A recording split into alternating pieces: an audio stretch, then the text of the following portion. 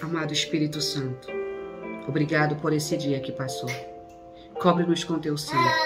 Livra-nos do mal. Nos usa com poder e com autoridade. Repreende todo levante, toda afronta. Quebra as cadeias e as barreiras, Pai. Abençoa teus filhos nesse dia. Dá vitória para eles, alegra seus corações. Eu os abençoo e eu clamo por liberdade espiritual. Em nome do Pai, do Filho e do Espírito Santo. Amém.